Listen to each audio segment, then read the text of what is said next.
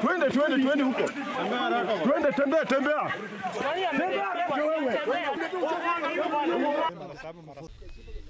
Aliniita usiku, alinipigia simu makaniambiwa ameenda Matanga, nikuje nimuone.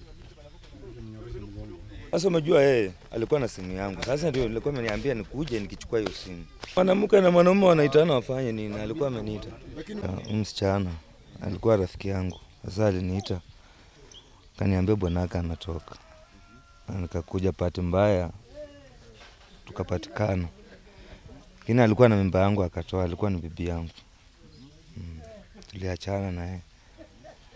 Sasa ndio nikampata, alikuja huku fika hapo hivyo, alikuwa na simu yangu. Sasa venye niliingia hapo ndani akafunga mla mlango, bado tulikuwa tunaongea na kijana ya chuma, ndiye alikuja kijana ya chuma huyu mwingine hivi anasiakanga pale, na akaanza kelele nje. Sasa kwanza tu hiyo kelele, hiyo harakati, ndio hao watu walikuja wakinao wengi tu. Sasa singepingana, nilikuwa peke yangu. nikamwacha mke nyumbani ikiwa saa kumi na mbili jioni.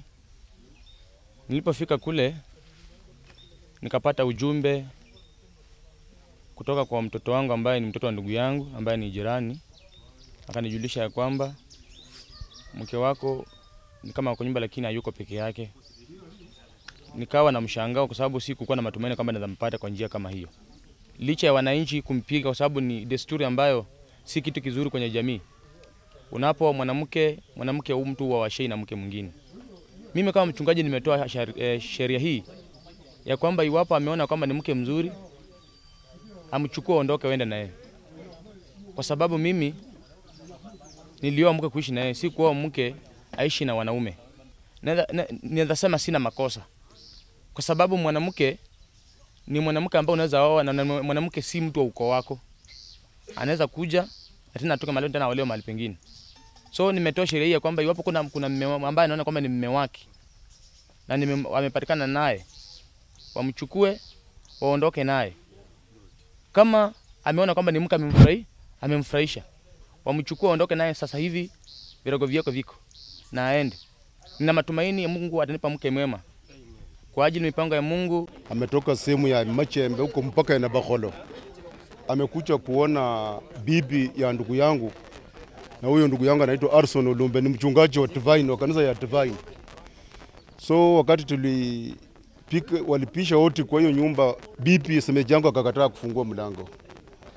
Tukajaribu kupisha mlango, akakataa kufungua mlango. Wakati alisikia umati wa watu wamejaa, ndo akafungua mlango na tukapata huyu jamaa amekaa kwa bedroom na tukamtoa kujua masaa saa sita saa hii, na ndugu yetu alikuwa ameenda Matanga.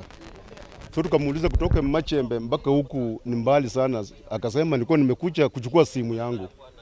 Huyu bipi alikuwa na simu yake, so alikuwa amefuata kuja kuchukua hiyo simu. So kufika hapo tukaona hiyo ni makosa, maana nyumba ya mtu kupatikana masaa hiyo uko na hatia. So kumbe mwanaume alisema kwamba anakuanga marafiki na huyo bp kwa muda wa miezi mbili kama wanachumbiana. na kijana yangu alikuwa ameenda matanga ya shemeji yake alikufa Ingote.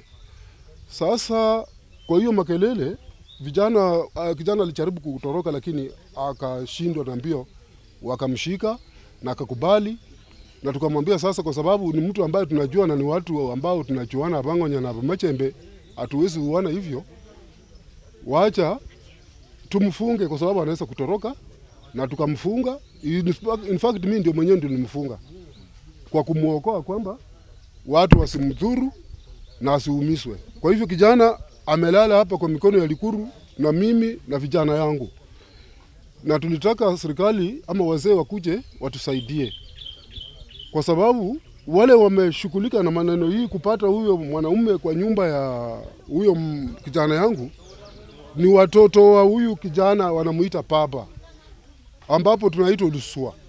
hiyo mpaka lazima tambiko ifanyike kwa vijana hao, kwa sababu wako wameoa na wako na watoto wananyonyesha, ni makosa.